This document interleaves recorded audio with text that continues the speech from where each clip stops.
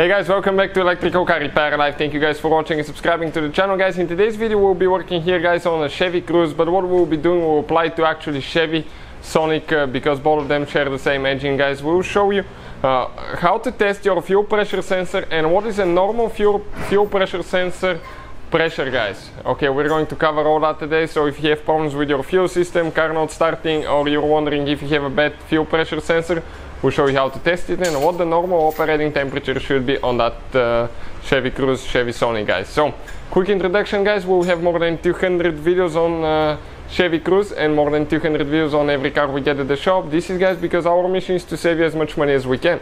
So please subscribe to the channel and like the video. Hopefully guys you will find the information helpful. Let me show you now what we'll be doing guys and what we'll be using. Uh, it's definitely a tool that I would recommend guys. Why? Because if you uh, if you own a car, a tool like that can pay itself off in just a couple times and uh, instead of going to the dealership guys. And this thing works on every car not just on Chevy Cruze Sonic or anything like that. It supports pretty much every car. And they release updates all the time. So all you have to do connect it to your OBD port. We'll have the link for that too in the description of the video below. And if you need any parts or tools guys or new pressure sensor okay we'll have the link and where you can get one from in the description of the video below so please check it out now right here guys I'm going to go ahead and turn the ignition on. Not starting the car, just turning the ignition on. Then the computer is going to fire up. Okay, perfect. And here, check out all the makes and models that it supports. It's simply amazing, guys. How many? So, we're going to select now General Motors you can do VIN detection, it, it will automatically decode everything, but I want to show you if you need to do it manually, how you can do it as well. You select your year, passenger car, Chevy, Cruze, or Sonic, whatever it is.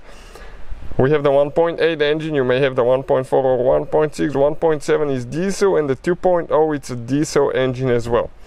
1.7 is diesel in Europe, I think, and Asia and uh, 2.0 is the actually the American version. So we click other. It's loading now. We click vehicle uh, diagnostics right here.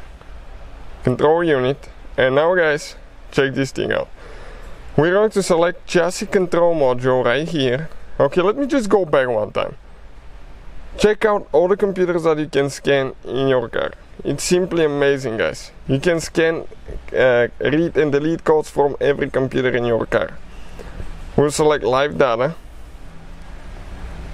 And now I want to show you here what we're going to get. We have, guys, it says fuel pressure sensor. And this right here now, guys, this is the uh, this is the pressure in uh, kPAs We'll have the conversion in a second, stay with us. This is the desired one, that's what the computer tries to adjust the fuel pressure to. This is the actual one. Uh, 400 PS uh, kPa, I think it's 58 psi. This is the normal operating temperature. I'll start the car and check it out now guys, it just stays there. I'm going to rev the car up a little bit. And it's about 399 to 400 kPa desired pressure, which is about 58 psi. So that's how you guys test your fuel pressure sensor, make sure it's working. That uh, digit right here, you can see how it's going between 390 and 410.